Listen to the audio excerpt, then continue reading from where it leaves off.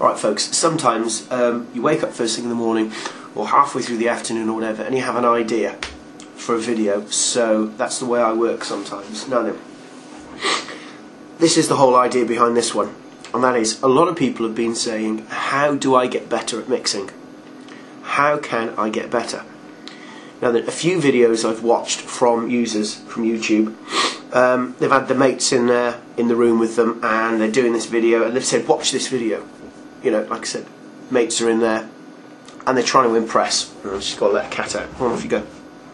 And um, now then, Rick Remix has check his latest video out, okay? Because one thing he has said that's very true, and that is, you need to spend time by yourself. All right doing your little mix because it's quite logical when you've got people with you in that room all right the first thing you're going to try and do is impress them. The first thing you want to do is for them to go wow that's fantastic God, blinking cats. Come on out you go.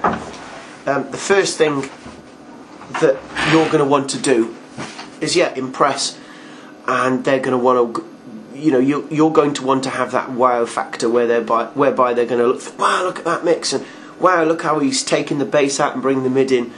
So while you're thinking about trying to impress them, you're not thinking about what you're doing. Now, I know that sounds very bizarre, but it's true. Because if it's just you in a room with your turntables, your PC, your CD player, whatever, CD players, that is the best thing if it's just you in that room with your gear. Because then you're just it's just you and you will find that you'll concentrate more now that there is there is a contradiction here. Because a lot of people find that they mix better when there's people around them okay?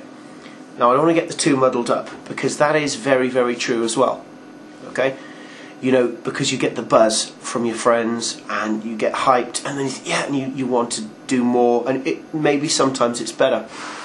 But for a beginner for a novice for someone who is just learning the worst thing in the world is for you to have all your mates around while you're doing a set trying to impress them and you're you're not concentrating on what you're doing it's a bit like in a sense it's a bit like trying to run before you can walk there's no point. There is absolutely no point. By all means, okay, when your friends are around, have a go on the decks. But then, for God's sake, when they've gone, go back and do some real homework, alright? Class that as the messing about time, alright?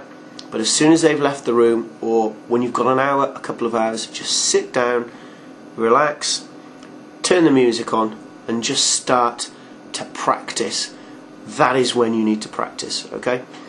Then when you get better and the beats start gelling together and you know the melodies are starting to work and stuff like that, then that's when, you know, get your friends around because instead of them just messing around and acting stupid, they're going to be watching you and listening then, okay? So anyway, quick video. That's what it's about, alright? Practice by yourself and like like I said, when you get better, when you get not much better, but it's just a natural progression. Mixing what I find, and this is through my own personal experience, is like when I say like riding a bike, okay, it's not like riding a bike. But what I'm trying to say is this once you learn how to ride a bicycle, okay, you can put that bicycle in a shed and it will go rusty, okay, and then you can buy another bicycle 10 years later because the one you had first off is knackered.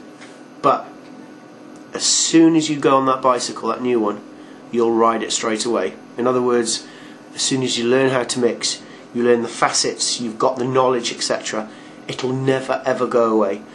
But you need to build on that knowledge first. You get that knowledge first, and then the rest is history. Okay? Practice and enjoy.